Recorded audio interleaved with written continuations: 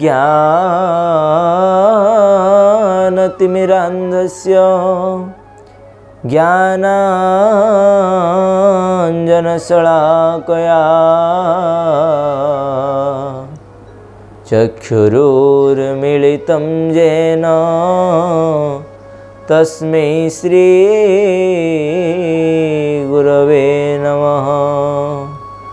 नमो विष्णुपादाय कृष्णप्रेष्ठाय भूतले। श्रीमते भक्तिवैभव पुरी गोस्वामी नामिने परमाराध्यतम निरुपाधिक करुणाबारिधि विश्वव्यापी श्रीकृष्ण चैतन्य मिशनर प्रतिष्ठाताचार्य। नित्यलीला नित्य प्रविष्ट विष्णुपाद। अष्टोत्तर शत श्री श्रीमद् भक्ति पुरी गोस्वामी महाराजको अशोक अभय श्री चरण अनंत कोटि प्रणाम पूर्वक त अहेतुक कृपा भेक्षाकु तत्परे मध्य शिक्षा गुरुपाद पद्म। श्रीपाद राजेन्द्र दास प्रभु। କୃପାନୁଗ ଗୌଡ଼ୀୟ ଆଚାର୍ଯ୍ୟବୃନ୍ଦ ସୁଧୀ ଭକ୍ତବୃନ୍ଦ ସମସ୍ତଙ୍କ ଶ୍ରୀଚରଣ କମଳରେ ଅଧମର ଯଥାଯଥ ପ୍ରଣାମ ସ୍ୱୀକାର ପ୍ରିୟାତ୍ମନ୍ ଗତ ପର୍ଯ୍ୟାୟରେ ଆମେ ଆଲୋଚନା କରୁଥିଲେ ଚତୁଶ୍ଲୋକୀ ଭାଗବତର ପ୍ରଥମ ଶ୍ଲୋକ ସମ୍ପର୍କରେ ଜ୍ଞାନ ପରମ ଗୁହ୍ୟଂ ମେ ଯଦ ବିଜ୍ଞାନ ସମନ୍ୱିତମ୍ ଅର୍ଥାତ୍ ଏଇ ଭଗବାନଙ୍କର ପରମ ଜ୍ଞାନ ବ୍ରହ୍ମାଙ୍କୁ ନିଜେ ସ୍ୱୟଂ ପ୍ରଦାନ କଲେ ଏବଂ ଗୋପନୀୟ ଜ୍ଞାନ ଯାହା ଅର୍ଥାତ୍ ବ୍ରହ୍ମଜ୍ଞାନ ଗୁହ୍ୟ ଏବଂ ପରମାତ୍ମାତ୍ମକ ଜ୍ଞାନ ଗୁହ୍ୟତର ଏବଂ ଭଗବତ ଜ୍ଞାନ ସେ ହେଲେ ପରମ ଗୁହ୍ୟ ବା ଗୁହ୍ୟତମ କିନ୍ତୁ ଐଶ୍ୱ ମାଧୁର୍ଯ୍ୟପୂର୍ଣ୍ଣ ଶ୍ରୀକୃଷ୍ଣ ସମ୍ବନ୍ଧିତ ଜ୍ଞାନ ହେଲା परम गुह्यतम तेणुक परम गुह्यतम ज्ञानटी को भगवान को प्रदान कले ब्रह्मा को भगवान निजे एवं यापर द्वितीय कहते जावन यथा भाव, जद्रुप गुणकर्म कह तथे तत्व विज्ञानमस्तुते मदनुगृहा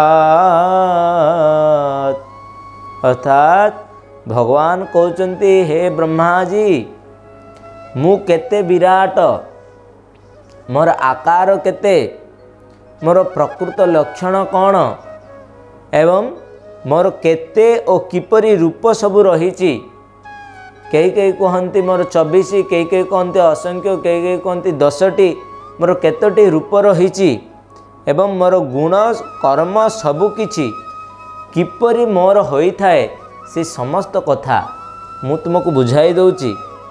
ଜାଣିବା ପାଇଁ ତୁମେ ସମର୍ଥ ହୋଇଯିବ ମୋରି କୃପା ଦ୍ୱାରା ଅର୍ଥାତ୍ ଏଠାରେ ଭଗବାନ ନିଜେ ନିଜର କୃପାକୁ ଦୃଷ୍ଟିଗୋଚର କରାଇ କହୁଛନ୍ତି ହେ ବ୍ରହ୍ମାଜୀ ମୋରି ଯେଉଁ ରୂପ ସମ୍ବନ୍ଧରେ ଯେଉଁ ତୁମ ମଗ୍ନ ମଧ୍ୟରେ ଥିବା ପ୍ରଶ୍ନର ଉତ୍ତର ମୋରି ଜ୍ଞାନ ମାଧ୍ୟମରେ ମୋର ଶକ୍ତି ମାଧ୍ୟମରେ ତୁମେ ବୁଝିପାରିବ।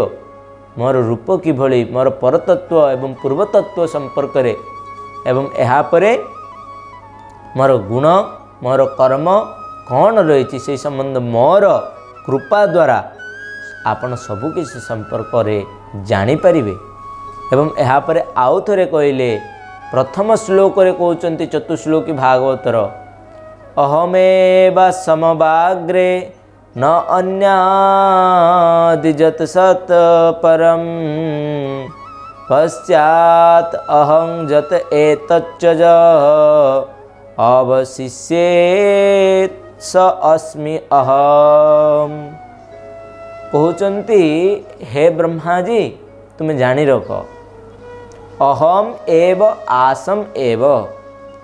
अर्थात ମୁଁ ଆଗରୁ ରହିଥିଲି ଅହମ ଏବ ଆସମ। ଆସମ ମାନେ ମୋର ଏହି ଦାମର ଲୀଳା ରୂପରେ ବିଦ୍ୟମାନ ଥିଲି ମୁଁ।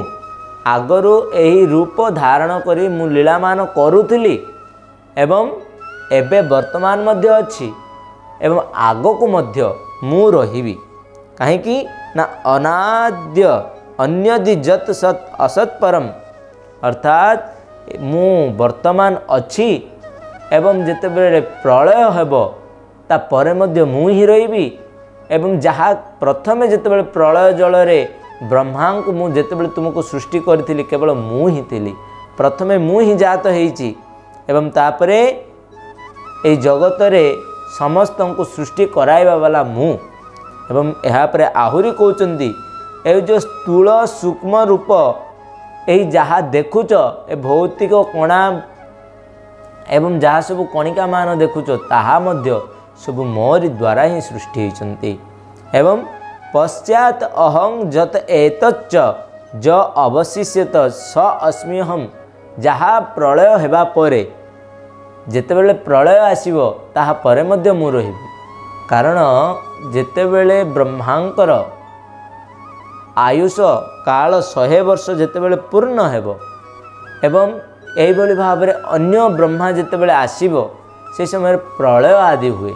ଯେତେବେଳେ ପ୍ରଳୟ ହୁଏ ସେହି ପ୍ରଳୟରେ ଏହି ସମଗ୍ର ଭୂମଣ୍ଡଳ ଏହି ସମଗ୍ର ପୃଥିବୀ ଧ୍ୱଂସାଭିମୁଖୀ ହୁଏ। ଯାହା ଯାହା ଫଳରେ ପ୍ରଳୟ ଜଳ ସମଗ୍ର ବିଶ୍ୱ ଜଗତରେ ଖେଳି ବୁଲେ। ଏବଂ ସେଇ ପ୍ରଳୟ ଜଗତ ଦ୍ୱାରା ପ୍ରଳୟ ଦ୍ୱାରା ଏହି ଜଗତ ସବୁକିଛି ନଷ୍ଟ ହୋଇଯାଇଥାଏ। କିନ୍ତୁ ସେହି ସମୟରେ ଭଗବାନ ରହିଥାନ୍ତି। ଏବଂ ଏହାପରେ ସେ ଆହୁରି କହୁଛନ୍ତି ଏଇ ଯେଉଁ ପ୍ରଳୟ ହେବା ପରେ ଏଇ ସ୍ଥୂଳ ସୂକ୍ଷ୍ମ ରୂପରେ ଭାବରେ ମଧ୍ୟ ମୁଁ ହିଁ ରହିଛି। ଅର୍ଥାତ୍ ଯାହା ସ୍ଥୂଳ ବସ୍ତୁ ଏବଂ ସୂକ୍ଷ୍ମ ବସ୍ତୁ। ସ୍ଥୂଳ ବସ୍ତୁ ବିରାଟକାୟ ବସ୍ତୁମାନଙ୍କରେ ମଧ୍ୟ ମୋର ଅବସ୍ଥିତି ଅଛି ଏବଂ ଯାହାକି ସୂକ୍ଷ୍ମାତି ସୂକ୍ଷ୍ମ ଯେଭଳିକି ଛୋଟ ଛୋଟ କ୍ଷୁଦ୍ର କ୍ଷୁଦ୍ର ବାଲି କଣିକା ଠାରୁ ଆରମ୍ଭ କରି ନିଜର କେଶର ଅଗ୍ରଭାଗ ପର୍ଯ୍ୟନ୍ତ ଏତେ ଛୋଟ ଛୋଟ ଯାହାକୁ କୁହାଯାଏ ନାନୋ ମେଟେରିଆଲ୍ସ ବୋଲି ମଧ୍ୟ ଯାହା କୁହାଯାଏ ପ୍ରତି କଣା ବିନ୍ଦୁରେ ମଧ୍ୟ ଭଗବାନଙ୍କର ଅବସ୍ଥିତି।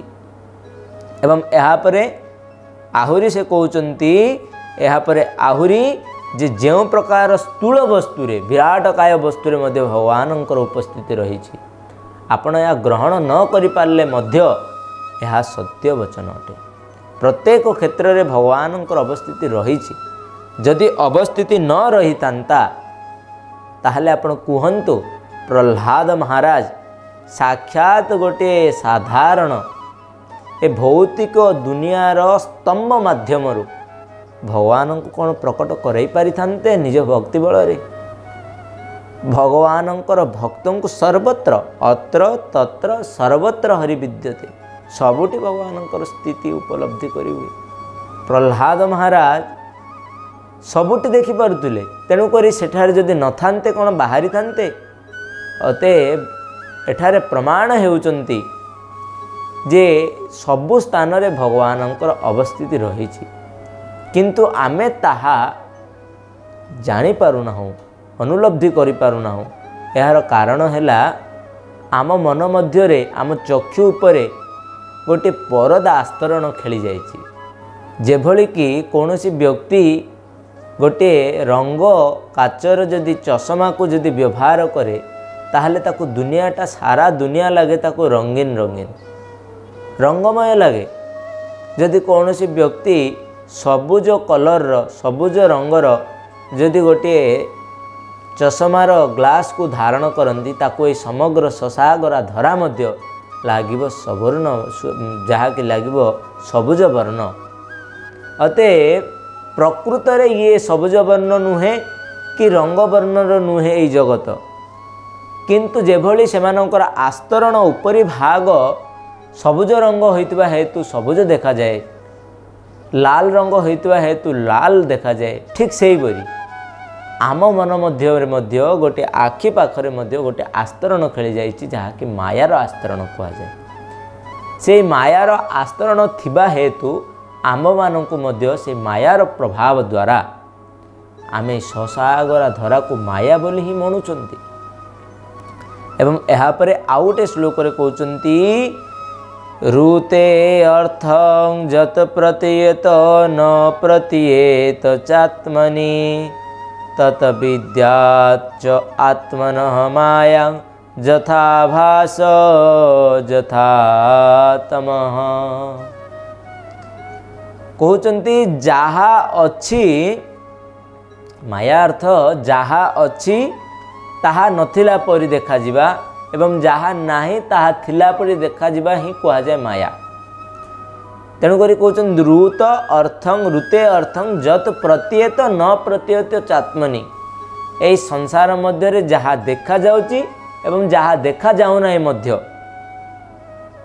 ସେଥିରେ ମଧ୍ୟ ଭଗବାନଙ୍କର ଅବସ୍ଥିତି ରହିଛନ୍ତି ଋତେ ଅର୍ଥଂ ଯତ୍ ପ୍ରତ୍ୟୟତ ନ ପ୍ରତ୍ୟୟତ ଅର୍ଥାତ୍ ଯାହା ଭଗବାନଙ୍କର ସେ ମାୟା ଶକ୍ତି ରହିଛି ସେ ମାୟା ଦ୍ୱାରା ଯାହା ଦେଖାଯାଉଛି ଏବଂ ଯାହା ଦେଖାଯାଉନି ମଧ୍ୟ ସବୁଠାରେ ଭଗବାନଙ୍କର ଉପସ୍ଥିତି ରହିଛି।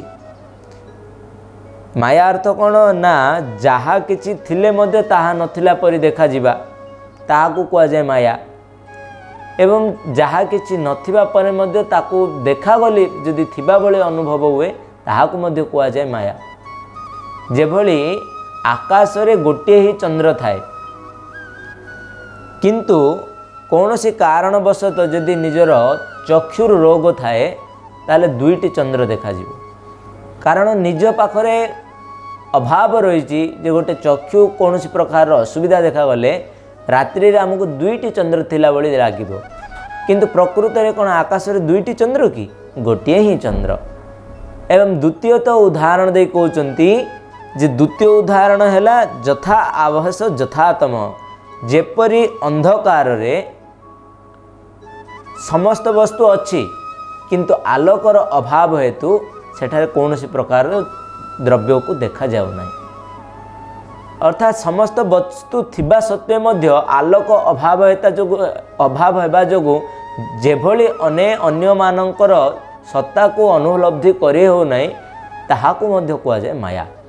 ଅତଏବ ଏ ଦୁଇ ପ୍ରକାର ମାୟା ଭଗବାନଙ୍କର ସ୍ୱରଚିତ ତେଣୁ ଏ ମାୟାକୁ କିଭଳି ଭାବରେ ତା'ର ଆହୁରି ତା'ର ବିଭାଗୀକରଣ ହୋଇଛନ୍ତି ତାହା ଆମେ ଦେଖିବା ଆଗାମୀ ପର୍ଯ୍ୟାୟରେ। ଆଜି ତ ସମୟ ହୋଇଛି। ବୋଲ ଭାଗବତ ମହାପୁରାଣ କି ଜୟ।